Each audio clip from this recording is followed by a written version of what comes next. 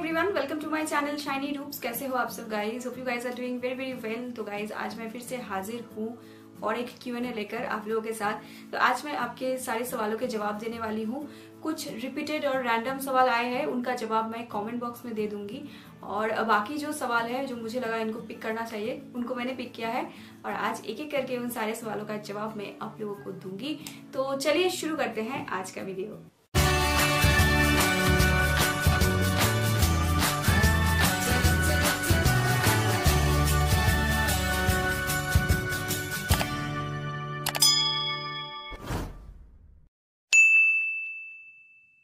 बहुत सारे सवाल आए हैं गाइस तो उनमें से सबसे पहला सवाल जिनका मैं ले रही हूँ, उनका नाम है पूजा सिंह और पूजा ने लिखा है कि, हाय दी मॉनसून की वजह से हेयर फॉल हो रहे हैं, क्या करूँ? और उनके साथ साथ और भी एक जन ने लिखा है कि, मेरे हेयर फॉल हो रहे हैं, दी और सामने का स्कैल्प पूरा खाली हो गया है। तो पूजा और सना खान दोनों का सवाल लगभग एक ही है तो इन दोनों के सवालों का जवाब मैं एक साथ ही दे रही हूँ। तो एक तो है कि मानसून के समय ना स्कैल्प में बहुत ज़्यादा पसीना हो जाता है और उसकी वजह से बहुत सारे बाल झड़ते हैं। मानसून के ऊपर मेरा ऑलरेडी एक वीडियो है, कुछ दिनों पहले मैंने डाला है। आपको वो वीडियो नीचे डिस्क्रिप्शन बॉक्स में मिल जाएगा। तो उस वीडियो को जाके एक बार उसका लिंक चेक कर लीजिए, वहाँ पे मैंने सारे डिटेल दे दिया है। और मानसून के समय अगर आपको अपने बालों को अच्छा रखना है तो सबसे पहली चीज़ तो स्कैल्प में पसीना बिल्कुल मत होने देना। जितना पसीना होगा, उतना ही आपके बाल झड़ेंगे। और उसके साथ साथ दूसरी चीज़ है, चंपी कीजिए बालों में थोड़ा सा गरम कर लीजिए तेल को, और उस तेल को आप अपने बालों में हल्का करके लगा के हल्का हल्का मसाज कीजिए। अगर बहुत ज़्यादा ऑयलिंग आपको सूट नहीं करता है तो आप कम तेल लगाइए। और कम तेल लगा के बालों को थोड़ा सा मसाज कीजिए, लेकिन तेल को थोड़ा सा हल्का वार्म अप कर लीजिए। इससे आपके हेयर फॉल नहीं होंगे मानसून के समय। तो चलिए बढ़ते हैं दूसरे सवाल की तरफ़। दूसरा सवाल है प्रियंका पांडे का। तो प्रियंका ने यहाँ पे लिखा है कि can I store castor oil to mix with mustard oil मतलब वो सरसों के तेल के साथ कैस्टर ऑयल को मिक्स करके रखना चाहती है। जी प्रियंका बिल्कुल रख सकती हो, कोई प्रॉब्लम नहीं है। लेकिन जब भी आप तेल को इस्तेमाल करोगे ना, थोड़ा सा गर्म कर लेना, और इससे आपको अच्छा रिज़ल्ट मिलेगा। तो इस चीज़ का आपको ध्यान रखना है। चलिए बढ़ते हैं अगले सवाल की तरफ़। कौशिका जांगरा इन्होंने लिखा है कि दी कितने टाइम में इफ़ेक्ट दिख जाएगा कैस्टर ऑयल का? तो नॉर्मली मैंने जब इसको इस्तेमाल करना शुरू किया था तो मुझे तीन महीने में एक अच्छा सा फ्रूटफुल रिज़ल्ट दिखने को मिला था। आपके केस में उसके पहले भी हो सकता है या फिर उससे थोड़ा सा लेट भी हो सकता है। तो आपको थोड़ा सा पेशेंसली इस्तेमाल करना पड़ेगा। पहला 21 दिन बहुत इंपॉर्टेंट होता है। तीन हफ़्ते में अगर कैस्टर ऑयल को यूज़ करने के बाद आपके बालों का झड़ना एकदम बंद नहीं होता है तो उसका मतलब कि वो आपको अच्छा सा, अच्छे से सूट नहीं कर रहा है। तो उस केस में तो कोई काम का नहीं रहेगा, लेकिन अगर आपको एक परसेंट भी पॉजिटिव रिज़ल्ट दिखता है तो इसका मतलब आप इसको कंटिन्यू कर सकते हो। ये आगे अच्छे से रिज़ल्ट देगा। ये बढ़ते हैं अगले सवाल की तरफ़। तो यहाँ पे इंदु रेखा शाहू, इन्होंने लिखा है कि क्या ऑयली स्कैल्प वाले new L'Oreal Paris dream length restoring shampoo को इस्तेमाल कर सकते हैं? येस ऑयली स्कैल्प वाले भी इस्तेमाल कर सकते हैं। शैम्पू तो काफ़ी अच्छा है। तो ऑयली स्कैल्प अगर आपका है तो बहुत अच्छे तरीके से बालों को मैनेज करेगा स्ट्रॉन्ग बनाएगा। लेकिन इसका इफ़ेक्ट तीन दिन तक रहेगा। तीन दिन के बाद आपको फिर से इससे बालों को शैम्पू करना पड़ेगा।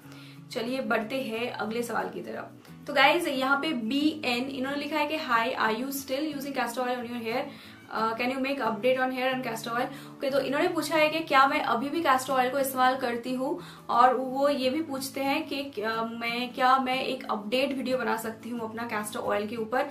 एंड और मैं अभी क्या इस्तेमाल कर रही हूँ? तो अभी मैं कैस्टर ऑयल को कंटिन्यू कर रही हूँ। ये मेरा डेढ़ आई थिंक डेढ़ साल हो गए मुझे कैस्टर ऑयल को इस्तेमाल करते हुए। मैं इसको छोड़ ही नहीं पाती हूँ क्योंकि I am addicted towards it क्योंकि मुझे बहुत अच्छा रिज़ल्ट मिला है। और आप में से ही बहुत सारे लोगों ने मुझसे ये कहा है कि आपका बालों का टेक्स्चर पहले से बहुत इम्प्रूव हुआ है। तो एक अच्छी चीज़ है, मैं लगा रही हूँ तो अगर अच्छा रिज़ल्ट दे रहा है, मैं क्यों छोड़ू इसको?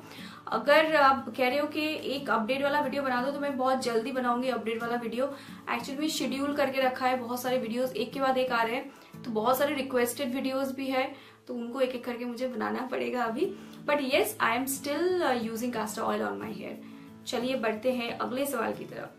तो यहाँ पे अशोक जी ने लिखा है कि ma'am I am using Ashwini hair oil from last one month due to immense hair fall so can I use Ashwini hair oil with castor oil is any side effect please reply किसी भी तेल के साथ आप castor oil को apply कर सकते हो मिक्स करके, लेकिन एक चीज़ का आपको ध्यान रखना है, थोड़ा सा आपको वार्म अप कर लेना है तेल को क्योंकि कैस्टर ऑयल बहुत गाढ़ा है और अगर उसका कंसिस्टेंसी उतना ही गाढ़ा रहेगा तो बहुत टाइम लगेगा आपके स्कैल्प को, इसको अब्जॉर्ब करने में। इसीलिए मैं हमेशा यही कहती हूँ कि जब भी आप कैस्टर ऑयल को यूज़ करो, आप किसी भी तेल के साथ मिक्स करके इस्तेमाल कर सकते हो डजेंट मैटर लेकिन उसको आपको थोड़ा सा पतला करना पड़ेगा और उसके लिए आपको इसको थोड़ा सा गर्म कर लेना पड़ेगा। बस यही है और कुछ नहीं है। तो कैसे चलिए बढ़ते हैं और एक सवाल की तरफ़। तो यहाँ पे अर्पिता दे, इन्होंने लिखा है कि ये चार डिफरेंट तरीकों के एसेंशियल ऑयल को कैस्टर ऑयल और कोकोनट ऑयल के साथ मिक्स करके लगा रही है तो क्या इतना सारा एसेंशियल ऑयल अगर हम किसी ऑयल के साथ मिला के लगाते हैं, वो हार्मफुल तो नहीं होगा? बिल्कुल हार्मफुल नहीं होगा। लोग तो आठ दस एसेंशियल ऑयल को एक साथ मिला के उसका एक कॉम्बिनेशन बना के इस्तेमाल करते हैं। तो आप कर सकती हो, बस इसका जो रेशियो है, वो ठीक होना चाहिए।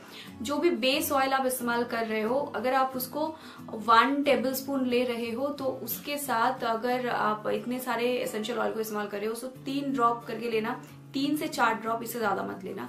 और और एक टेबल स्पून बेस ऑयल के साथ कैस्टर ऑयल वन टीस्पून लीजिए, इससे ज़्यादा मत लेना। और बाकी जो एसेंशियल ऑयल्स है, उनको उसी प्रोपोर्शन पे लेना तो कोई भी प्रॉब्लम वाली बात नहीं है। आप आराम से इस्तेमाल कर सकते हो। तो चलिए बढ़ते हैं और एक सवाल की तरफ़। तो यहाँ पे सविता अलावत, इन्होंने लिखा है कि क्या इस इसे राइस के पैक के साथ यूज़ कर सकते हैं रोजमेरी एसेंशियल ऑयल को? तो आप इस्तेमाल तो कर सकते हो, लेकिन मैं ये सजेस्ट करूँगी कि कोई तेल के साथ ही आप इसको मिला के लगाइए तो इससे आपको ज़्यादा अच्छा फ़ायदा मिलेगा। आप चाहे तो राइस पैक के साथ मिला के इस्तेमाल कर सकती हो, ये भी काम करेगा बट कोशिश ये कीजिए कि किसी भी दूसरे ऑयल के साथ आप इसको मिला के लगाओ। कि और एक क्वेश्चन की तरफ़ बढ़ते हैं। यहाँ पे प्रोदीप पॉल इन्होंने लिखा है कि डर्मा रोलर यूज़ करने से मेरे ज़्यादा हेयर फॉल हो रहे हैं, क्या करूँ? तो आपने किस तरीके से डर्मा रोलर को इस्तेमाल किया है, आपने मुझे नहीं बताया है। आई होप आपने देख लिया है वीडियो ज़्यादा इस्तेमाल मत कीजिए, ज़्यादा शायद आप थोड़ा सा ज़्यादा प्रेस कर रहे हैं या फिर ज़्यादा टाइम तक इसको अप्लाई कर रहे हैं इट इज़ नॉट नेसेसरी आप अगर हफ़्ते में चार से पाँच बार डर्मा रोलर का इस्तेमाल करते हो या फिर हर दिन करते हो तो फाइव मिनट्स कीजिए, एकदम लाइट मसाज कीजिए, ज़्यादा घिसिए मत। क्या होता है स्कैल्प छिल जाता है डर्मा रोलर को अगर हम ज़्यादा घिसते हैं तो। तो light massage is very important तो वो कीजिए, आपके बालों का झड़ना बंद हो जाएगा।